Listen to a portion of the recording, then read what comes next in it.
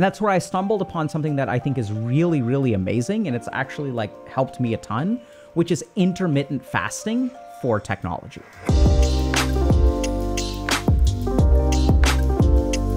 Here at HG, we help people develop healthy relationships with technology. And this is becoming increasingly important because as we're sort of getting more and more research on stuff, we're discovering that there are negative impacts to social media and the more time we spend playing video games, like the more it sort of impacts our motivation. We're also sort of seeing some problems develop with things like streaming and parasocial relationships, stuff like pornography addiction. And so while technology has a lot of really great uses in our life, it also causes us a lot of problems. Hey there, thanks for watching, and I'm glad these videos have been helpful. A lot of times I'll read the comments and see people asking, well, what do I actually do about it? Which is such a great question. And unfortunately, my experience has been that the resources out there aren't actually that good at helping people create sustainable change which is why I started HG in the first place. HG coaches are trained on a curriculum that integrates all of my understanding into what is motivation, what paralyzes us, and how to create lasting behavioral change.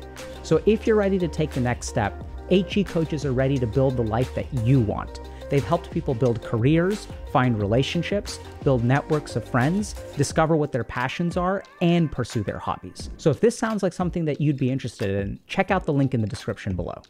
And so some people will come up with things, and we do this in our community as well, where we've got like a particular coach, for example, who runs these like dopamine detox sessions. We have all kinds of like limitation attempts at technology. But the challenge is that it's really hard, right? Let's say I do a dopamine fast for two weeks, and then like I come back to it, and then it's sort of like, okay, well, how do I reintegrate technology?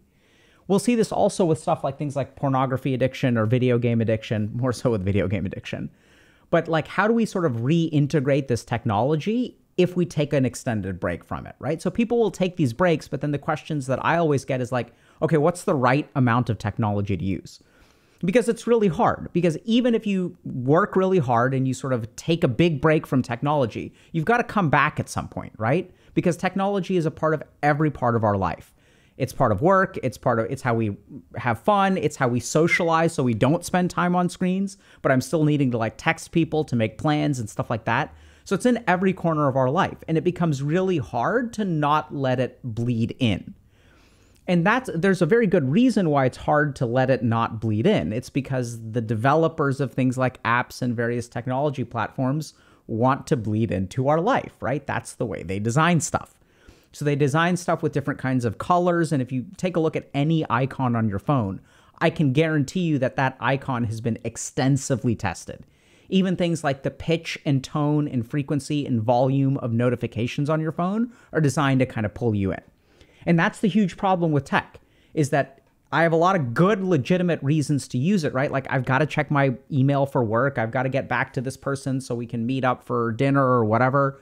Um, I need to coordinate with my personal trainer so I can get physically in shape. I need to look up a recipe so that I can make myself a healthy dinner. There's all these like healthy uses of tech.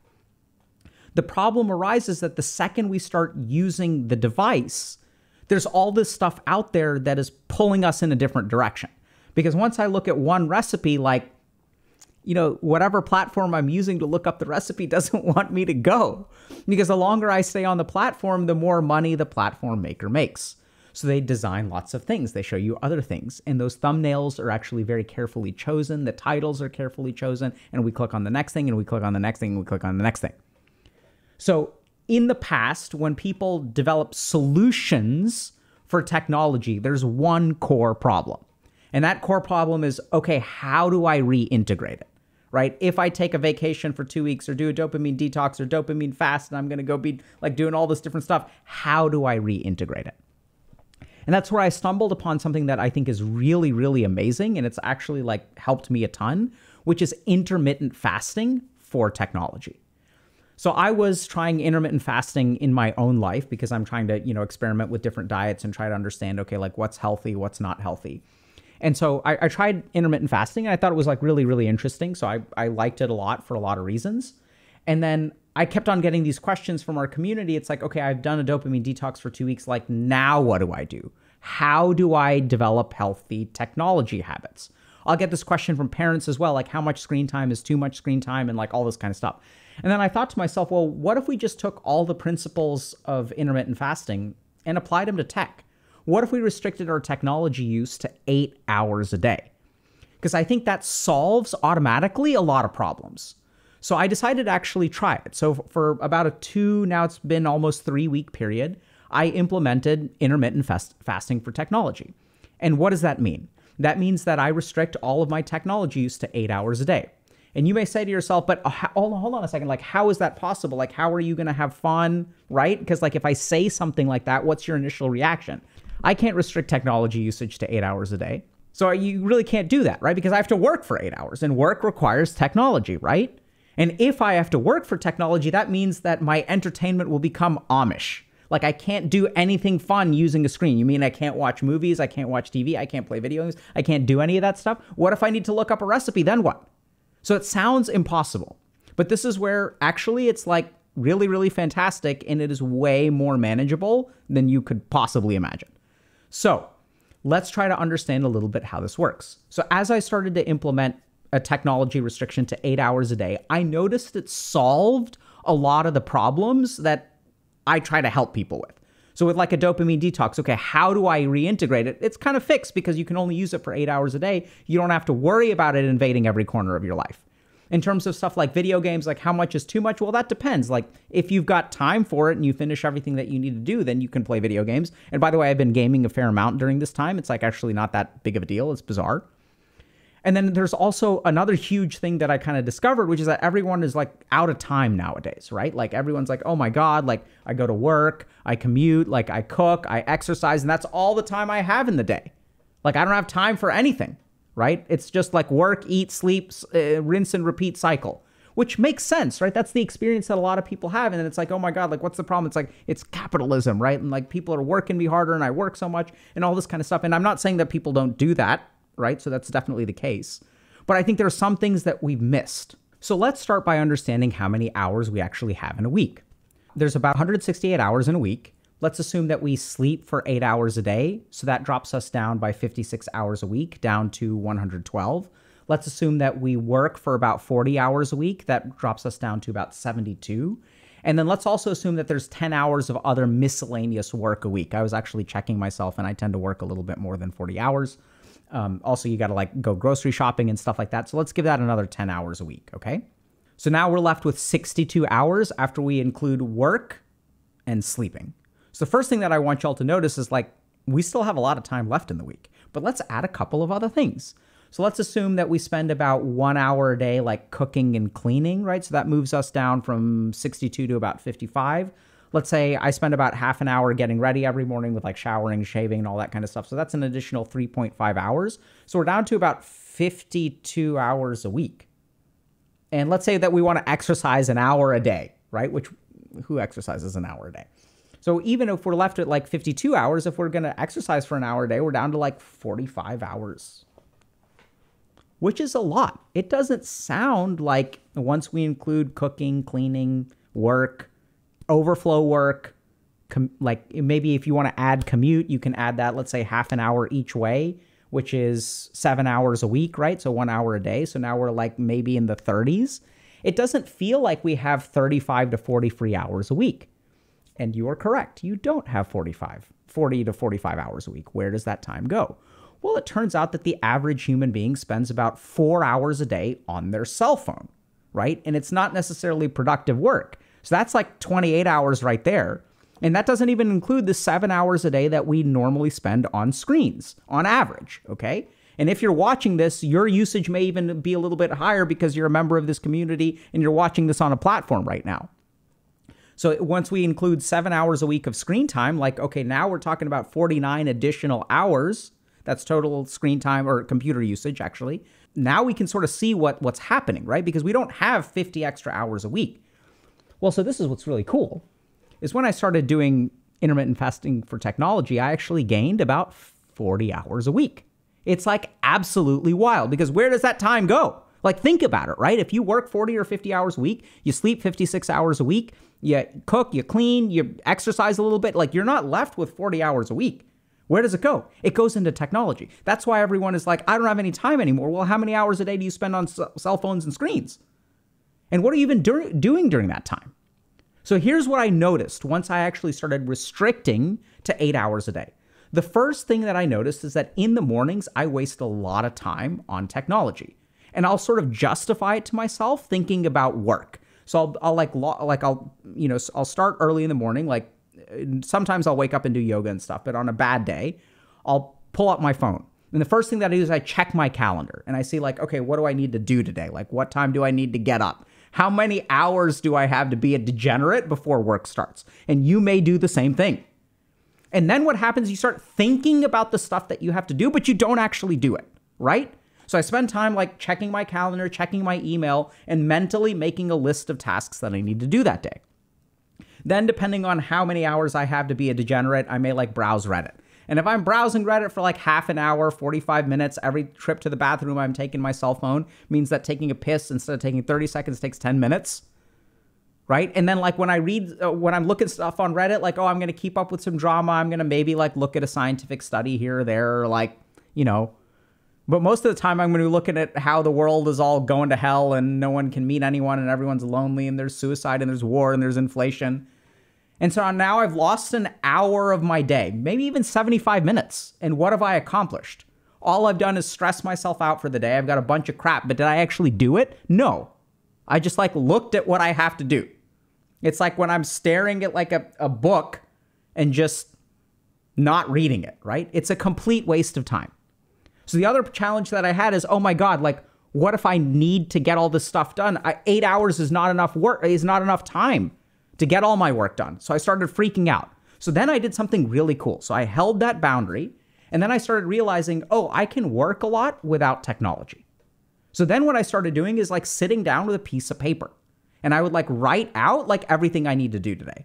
I'd make shopping lists. I'd like, you know, figure out, okay, what are the tasks that I need to do? I'd think about what my priorities are at work before being prompted by something like calendar or email. So paradoxically, what started happening is I started focusing on like bigger picture stuff and more important stuff.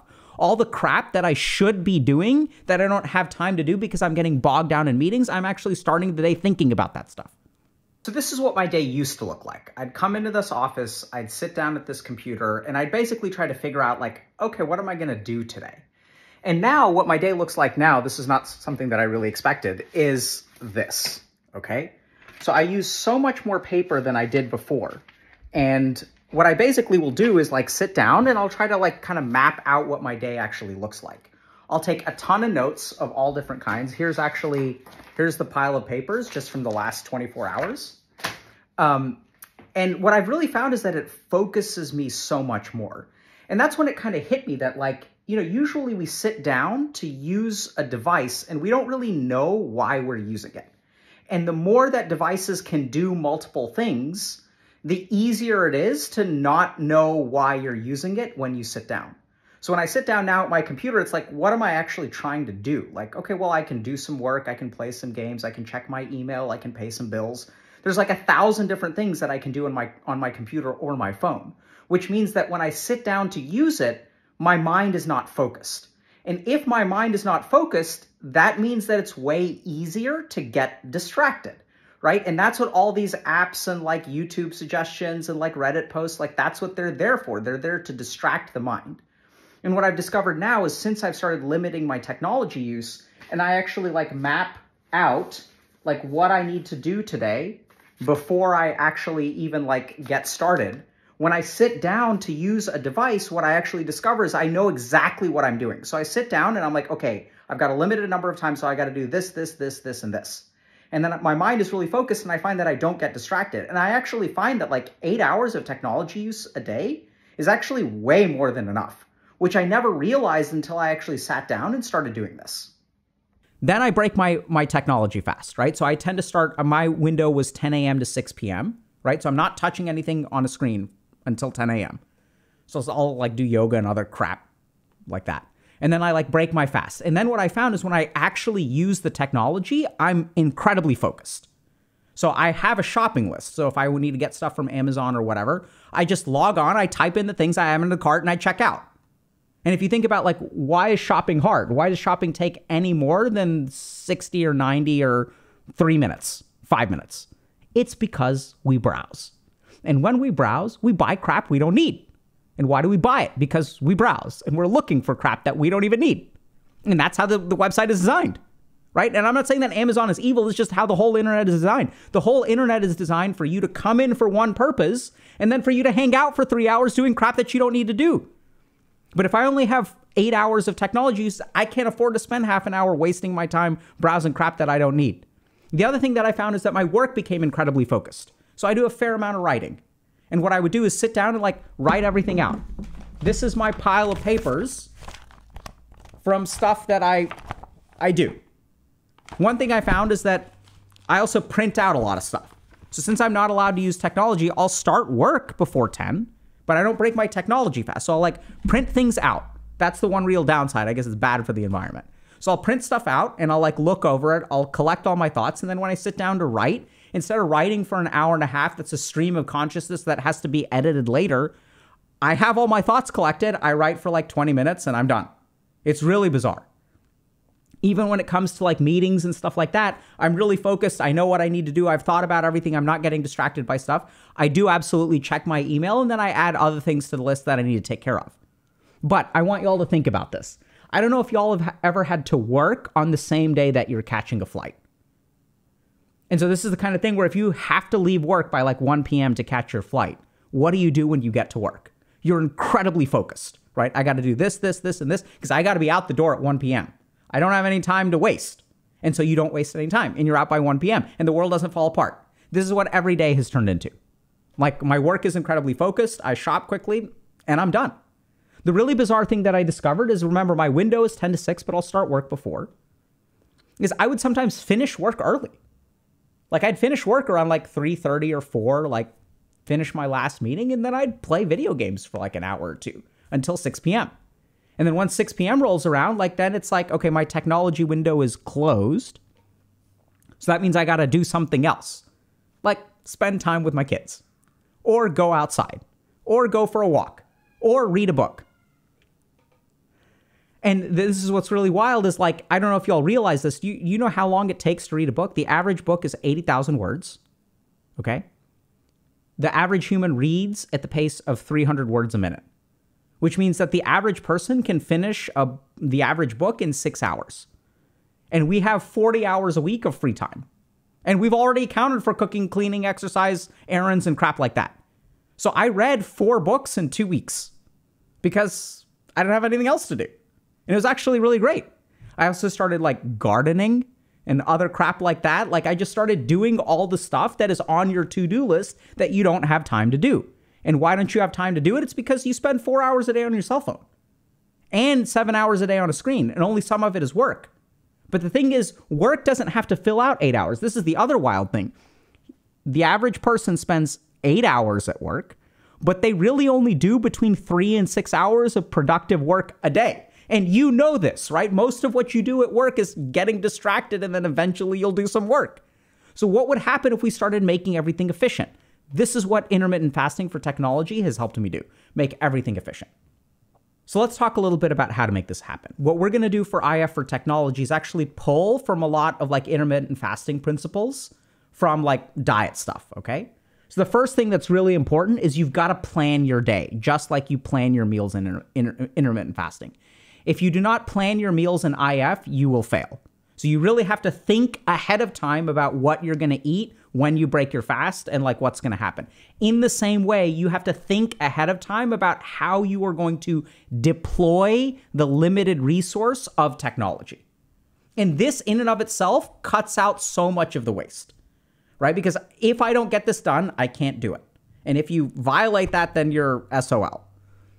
So let's start by just thinking through, okay, what do I need to do? So uh, this is what I need to do for work. This is why I need to order stuff online. This is the stuff that like I need to check into. Here's the doctor's appointment that I need to uh, investigate, things like that. The second thing that we we really need to be prepared for is when I was learning in, intermittent fasting, I learned something really interesting, which is that you're going to need to change your relationship with hunger. In the same way, if you're doing IF for technology, you need to change your relationship with boredom. So, right now, the way that we exist is when we get bored, we have some dopaminergic crap that we reach for that doesn't really fulfill us and doesn't help us, doesn't isn't actually making us fun. It just alleviates boredom for some amount of time. And it even can get to the point where we are so, it doesn't even do a good job of alleviating boredom. So we need a second device. I don't know if y'all like, if this applies to you, but where you're watching TV and scrolling on your phone at the same time. So if you're hitting that point, then that's a huge problem. So for these two weeks, prepared to be like a little bit bored. And the key thing to understand is that boredom ain't gonna kill you. And it's like okay to be bored. And just think a little bit about okay, like what's more important to me? Gaining 40 hours a week or being less bored? Like that's literally what the trade off is. Because what we're doing every time we satisfy our boredom is we're losing an hour of our life every week. Okay? So change your relationship with boredom understand that just like hunger, it's a sensation, it's a concern, it's a worry. And there's all kinds of stuff that you can do that may not quite fix it. This is where I found that originally for me, like going for walks was really, really important. So I'd go for a walk, I'd take papers, I'd take a book, and I'd sit down at a park bench and actually like do my work there or think or do some kind of recreation. Okay. So we're about one week in into intermittent fasting for technology, and the experience has been really interesting. So the first thing that I kind of noticed is like how much time I waste on technology. And being able to really like restrict technology usage to eight hours a day has completely changed the structure of my day to day. The first thing is like I'm working right now, and this is where I spend, I try to spend at least one hour a day outdoors. And what I found is that actually instead of just like waking up in the morning and like sitting down at the computer and figuring out what I need to do for the day, which is usually what used to happen. I would sit down, like look at my calendar and like, you know, just try to figure out, check my email, check Slack, check Reddit. And like, I used to just spend an hour or two just like checking stuff without actually doing work. And what I found now is that what I'll usually do is since I don't want to break my fast, I'll come outside with a piece of like paper and a pen and I'll actually just think a little bit about, okay, what do I want to accomplish today? Like, what do I need to do? And so rather than having like the internet or technology prompt me about what's important, I start to spend time really like thinking about, okay, like this is what I need to accomplish today.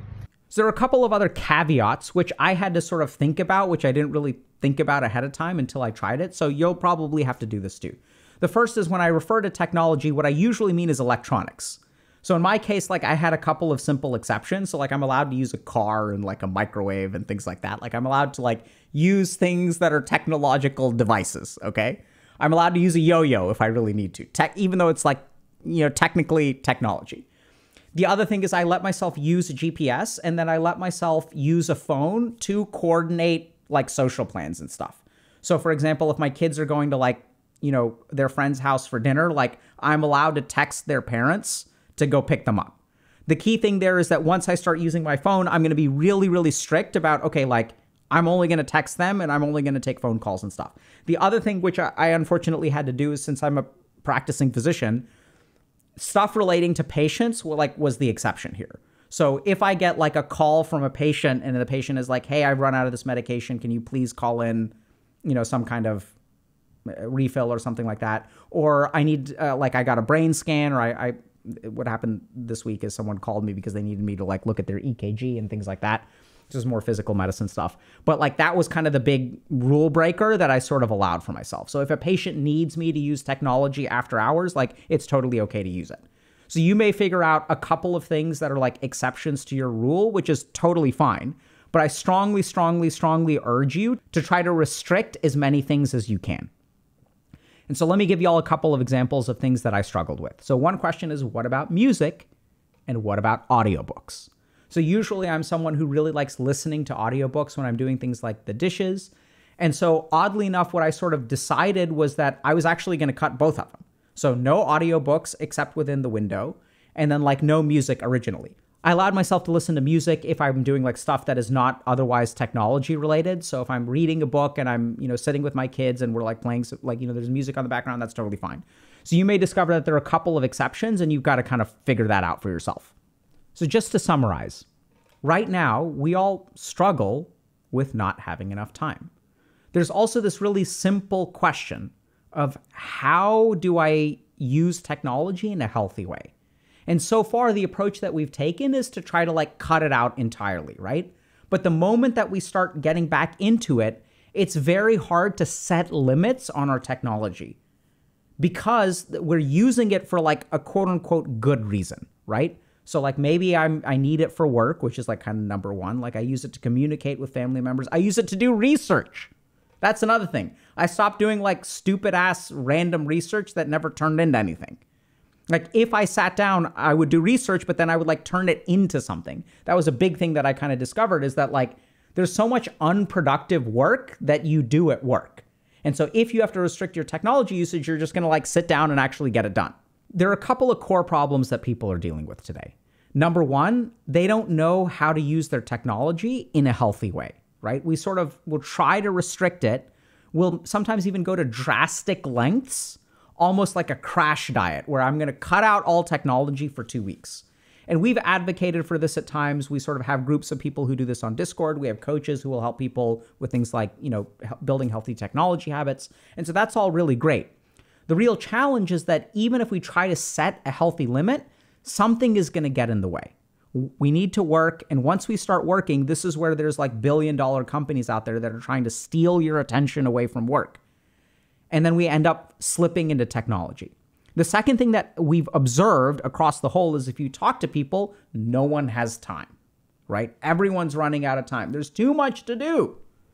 I've got to work so much, and I'm what? This is life. It's get up, go to work, finish work, commute home, exercise, do laundry, eat, and go to sleep after half an hour of recreation.